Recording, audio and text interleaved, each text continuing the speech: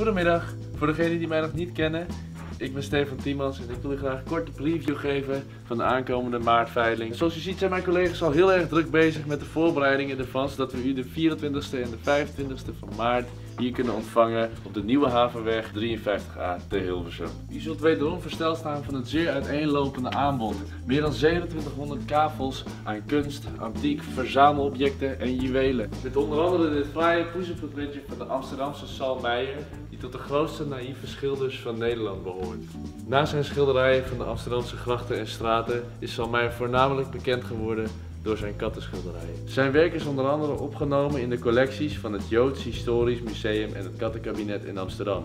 Meijer noemde zijn schilderijen geen kunstwerken, maar schilderstukjes. En mede hierom werd zijn werk vaak als primitief bestempeld. Inmiddels is zijn werk onder verzamelaars erg geliefd en bracht zelfs een van zijn werken in juni 2007 een hamerprijs van 40.000 euro op. De herwaardering is onder andere ontstaan door het artikel Onze grootste moderne primitief schilder van betekenis, geschreven door Casper Niehaus, van wie er toevallig ook een kunstwerk in deze veiling zit. Ziet er goed uit, Rup? Ja, ook filmster. Als Meijer bekend staat als de Raphaël der katten, dan is Bogaerts wel de meester der stillevens. In de maartveiling hebben we drie werken van Bogaerts opgenomen, waaronder dit prachtige bloemstilleven met primula uit 1936. Primula is een verkleinwoord van primus, dat eerste betekent. De plant is dan ook wel een voorjaarsbode bij uitstek. En ik moet zeggen, ik voel de lentekriebels ook wel. Jij ook hè Tris? Na schilderijen kunt u natuurlijk ook op de veiling terecht voor sculpturen, meubilair, spiegels, tapijten, wijnen, uurwerken, kleingoed, goud, zilver, juwelen en nog veel meer. Zeldzaam is het eerste gehalte zilveren astrolabium. Dat is een rond instrument waarmee men de hoogte van hemellichamen kon meten ten opzichte van de horizon. Dit unieke exemplaar is ooit verkocht door de firma Christian Huygens, dat gevestigd was in het kasteel Den Nederhorst te Nederhorstenberg. En ik hoor het de mensen al denken, wat doet Stefan opeens in een boekenwinkel? Maar niets is minder waar.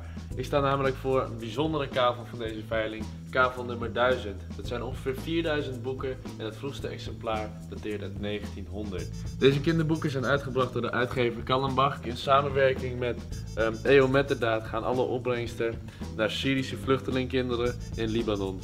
De collectie werd geschonken door de 83-jarige mevrouw de Graaf uit Nijkerk. Op vierjarige leeftijd kwam het allereerste boekje in haar bezit tijdens zondagschool met kerst. Tijdens de Tweede Wereldoorlog moest ze zelf ook onderduiken vanwege het werk van haar vader. Um, en ondanks alle gevaren wisten haar ouders toch nog wel een Kallenbach boekje haar te bemachtigen met de titel Pip uit de woonwagen. Wij steunen dit initiatief en daarom rekenen we ook geen veilingkosten. Als u de hoogste bieder bent, verkrijgt u niet alleen een schitterende collectie van boeken, maar dan steunt u ook eens het goede doel. Een win-win situatie als het mij vraagt. Er is dus genoeg te ontdekken tijdens de kijkdagen en uiteraard kunt u natuurlijk ook op www.vanzadelhof.nl de hele catalogus online zien. Fijne dag!